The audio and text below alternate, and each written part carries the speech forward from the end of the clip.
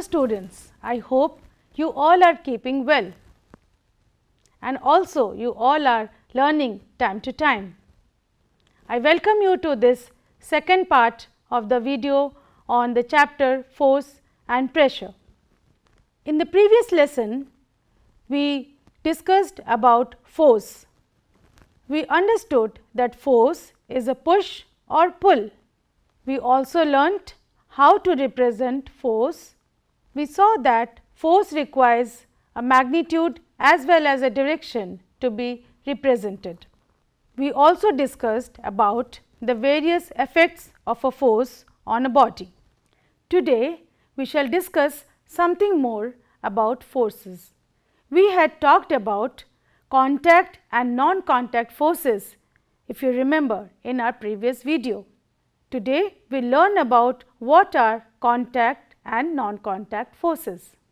As we learnt in the previous video, the force can be broadly classified into two major types. They are contact and non-contact forces. You know that there cannot be a force between two objects until there is a physical interaction between them. Consider a person pushing a car.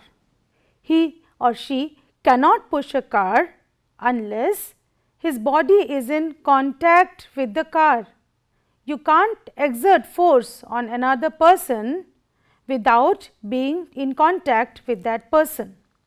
Some of the interactions occur between bodies only when they are in physical contact with each other.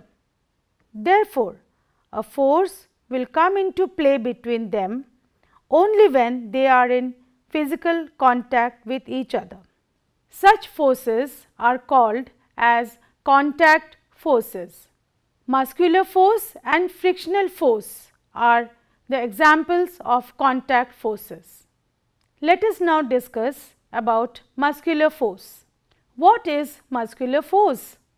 Muscular force is the force applied using parts of our body like hands or legs.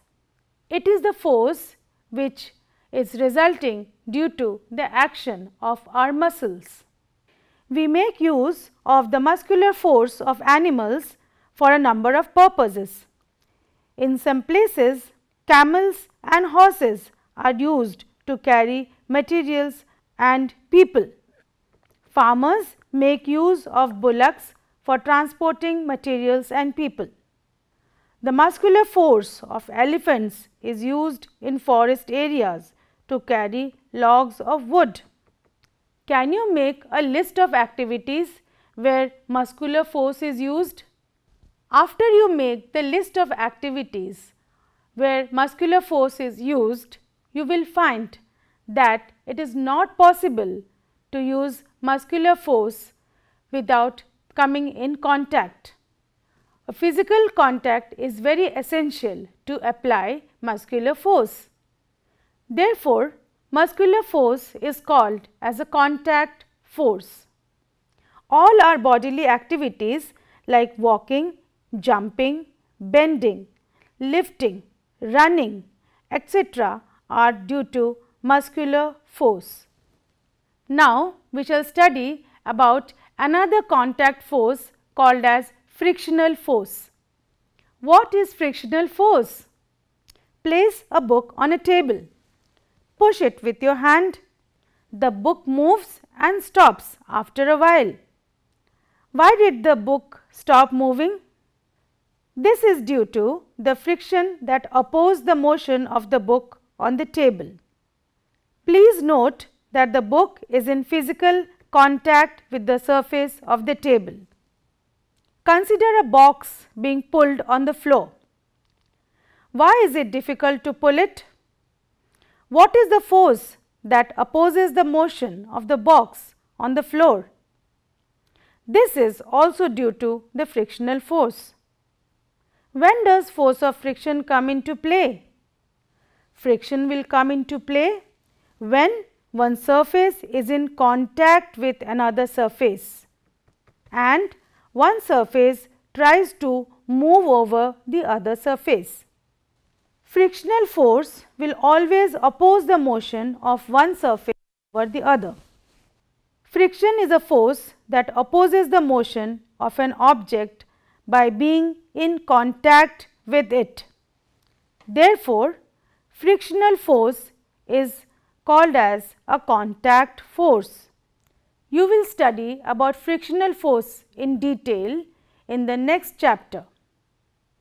However, we shall recall what we studied about friction in this chapter. We have discussed and learned that friction is a force that opposes the motion of one surface over the another which is in contact with it. Frictional force is a contact force.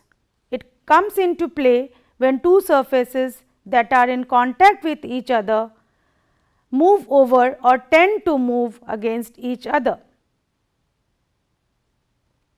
And friction is a contact force.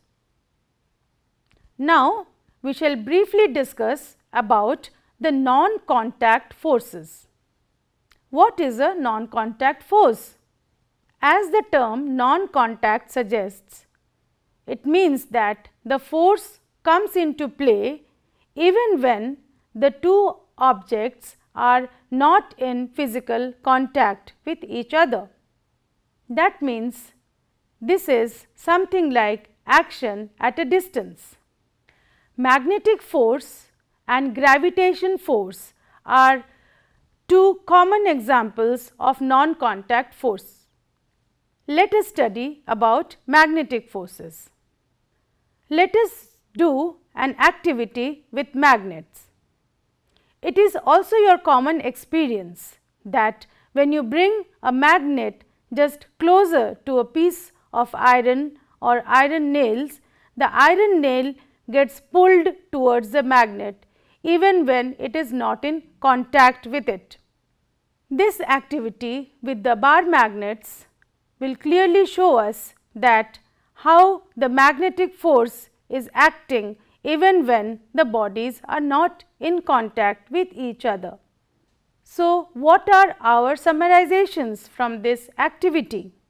We saw that magnetic force comes into play between two magnetic poles. Magnetic force is a non-contact force. It is a force that acts at a distance. It is either a force of attraction or a force of repulsion. Another non-contact force is electrostatic force. Let us observe this activity with bits of paper and a comb. I know you must have done this activity many times. Taking a plastic comb and rub it on woolen cloth or through the hair and bring it near the bits of paper. Let us see what happens we see that the bits of paper are attracted by the comb even without touching.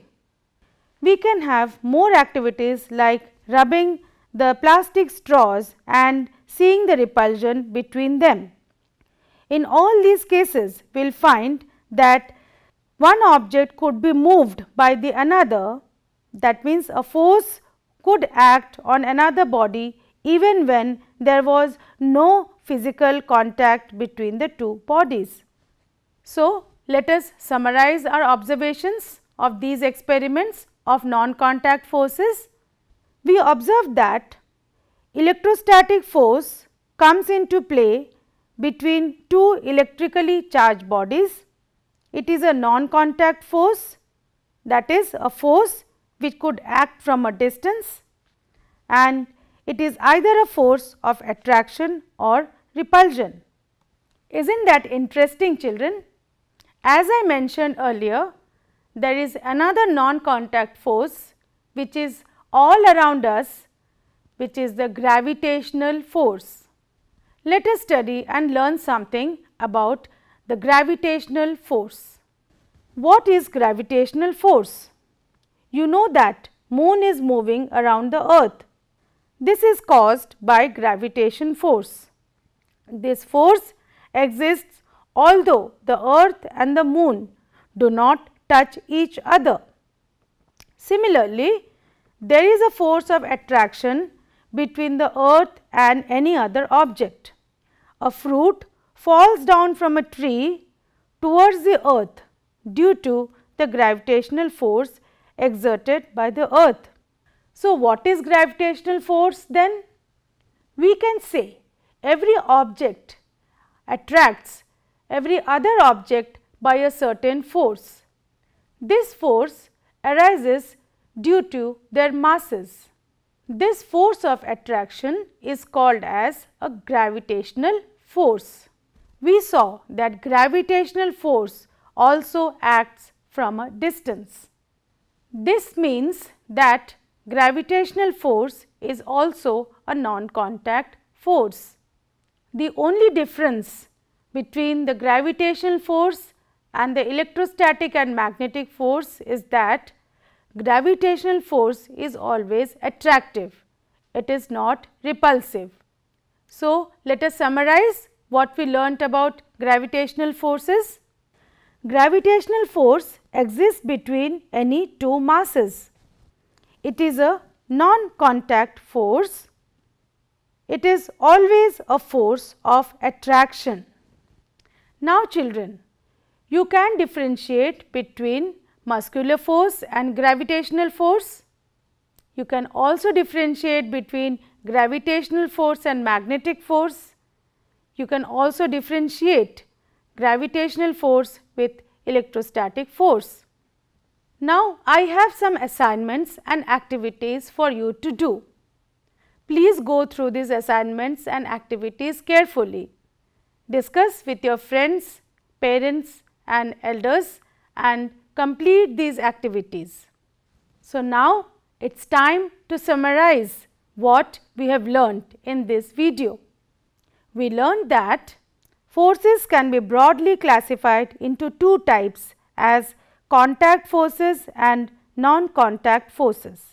Contact forces require interacting objects to be in physical contact with each other Muscular force and frictional force are examples of contact forces. Non-contact forces are forces which act from distance. They do not require physical contact with the interacting objects. Gravitational force, magnetic force and electrostatic force are the examples of non-contact forces. So, children, this was the second video on the chapter force and pressure. I hope by now you must have started enjoying it and you have learnt quite a lot about forces. Please go through your books and revise these units which we have discussed. I shall be back with you in the next video with our discussion on pressure. Till then, take care of yourselves and keep learning. Thank you.